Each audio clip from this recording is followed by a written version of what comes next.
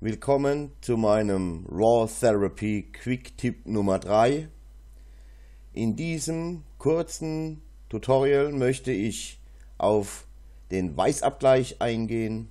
Die meisten Kameras haben heutzutage einen durchaus ausreichenden Weißabgleich, aber manchmal sollte man ihn auch manuell einstellen können.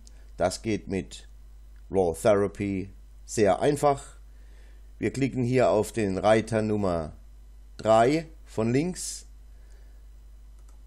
aktivieren ihn und hier haben wir eine Pipette, mit der wir den Weißabgleich eines Fotos manuell setzen können.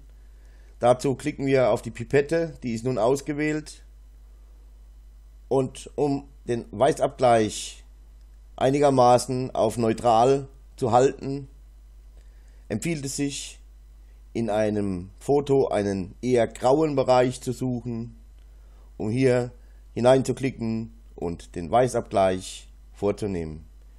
Ich werde hier auf dieser Seite des Cockpits links unten in diesem grauen Bereich hineinklicken und somit hätten wir den Weißabgleich dieses Fotos gemacht.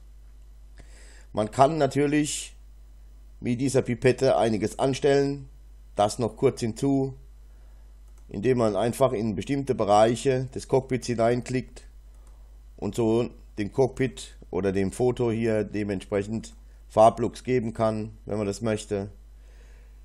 Der normale Weg ist in einen grauen Bereich, relativ neutrales Grau in dem Foto zu klicken, um hier den Weißabgleich manuell vorzunehmen.